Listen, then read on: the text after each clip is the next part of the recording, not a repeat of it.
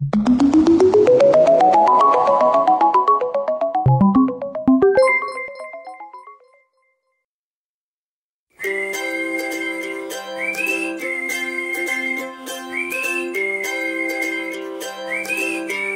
vidite da su djeca usvojila neka određena znanja i vještine i da to primjenjuju u svakodnevnom e, životu, nema većeg uspjeha za jednog odgajatelja.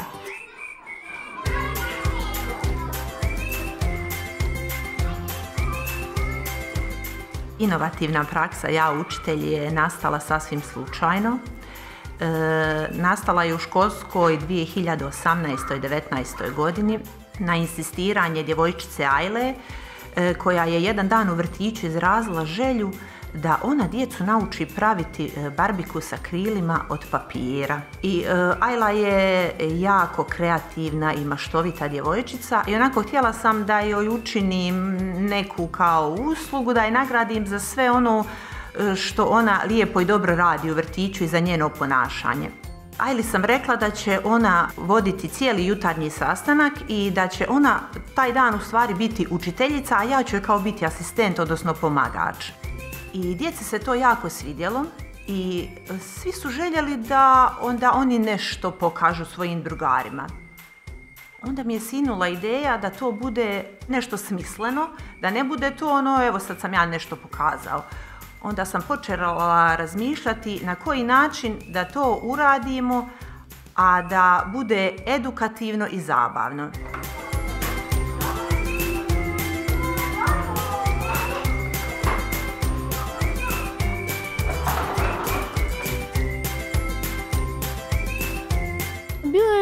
Jako iznenađujuće što sam uspio to uraditi bez stresa i čega samo mirno govori i to. Hoću se već kod držim nekom četvrtom ili petom razredu predavanje iz historije sad. I pa, za mene je bilo iskustvo u vrtiću koje stvarno nikad ne bi mogao i ne bi volio da baš to zaboravim. Pa toliko vrsta postoji dinosaura, na primjer T-Rex, Stegosaurus, u početku si lijepo šutila i kada sam ona malo zastekivo u početku kao nastavnik, ono da napravim mjesto za malo pitanja, svi su počeli postavljati tako različita pitanja.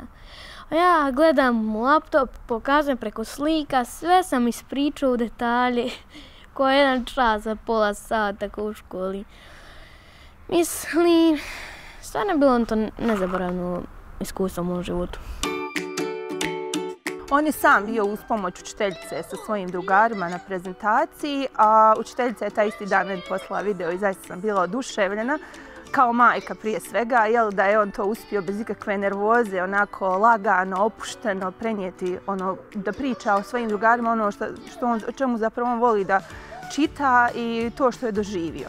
A onda je kao prosvjetni radnik, e, jako mi se svidjela ta ideja da, se u tako, da kažem, ranoj dobi podsjeće djecu da budu samostalni, da istražuju i da se gaji kod njih ta prezentacija, te komunikacijske sposobnosti kod učenika. Ono što je jako bitno kroz ove aktivnosti jeste to da su se djeca osjećala važnim, da oni mogu e, svoje drugare nešto novo naučiti i da im mogu e, prenijeti neka nova znanja. U sve ovo sam uključila i roditelje.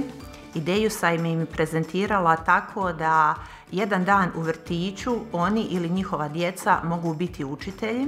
Za realizaciju ideje mogu pratiti nastavni plan i program ili mogu djeci prezentirati neku svoju ideju, e, aktivnost, ljubav ili igru koju oni žele. A sada drugari ide iznenađenje. Danas ćete učiti nešto novo. Najbolje da vam se gost sam predstavi.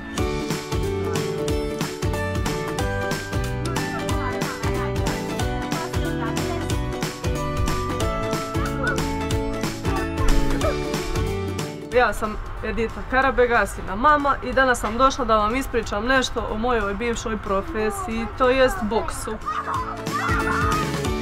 Dobila sam poziv od tete Edine da dođem da gostujem u vrtić i evo, tada sam se odazvala, bilo mi je zadovoljstvo, čast. Upoznala sam djecu sa nečim novim, pokazala sam im šta sam sve ja radila, pokazala sam i svoje medalje, pehare i prenijela neka svoja iskustva. Djeca su bila oduševljena, uglavnom jedno veliko i fino iskustvo. U sklopu tih aktivnosti e, moj zadatak je bio znači da prezentiram djeci određena iskustva jeli, svoja koja sam stekao e, kroz, kroz e, svoju praksu na željeznicama, tako da, da im prenesem to na neki njima pristupan način. Drago mi je da se i dan danas ta djeca sjećaju tih momenata, jer im je to na neki način ispunjen naš cilj, a i jeli, cilj ovoga, ovih aktivnosti da mi kao roditelji taj dan budemo jeli, učitelji za, za njih sve.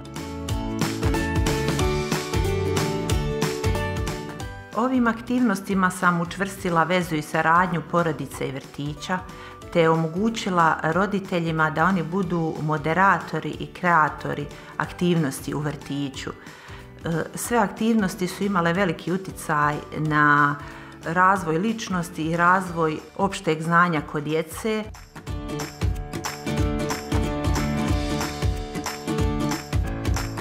Drage kolege, znam da nas je ova situacija sa COVID-19 sve uskratila da realizujemo neke naše ideje, ali ono što bih vam ja htjela poručiti jeste da osluškujete potrebe interesovanja djece i da pustite svojoj mašti da radi šta treba i tako ćete sigurno doći do nekih fenomenalnih uspjeha.